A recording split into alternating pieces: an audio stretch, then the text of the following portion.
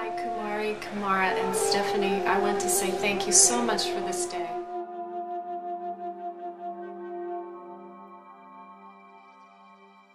For I keep getting validation, I keep getting answers, and it's pretty fascinating and uplifting.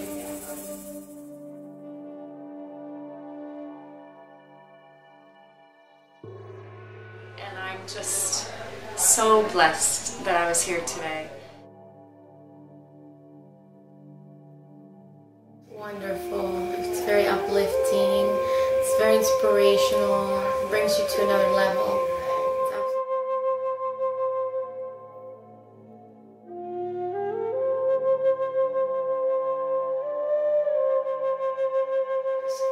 That I felt so much higher than I've actually been in my life.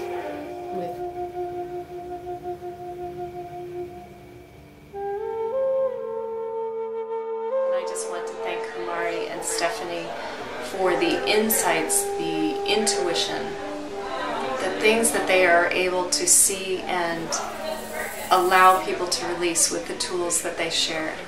that happiness, all of the areas that we've covered today were validating for me because they're all real within me.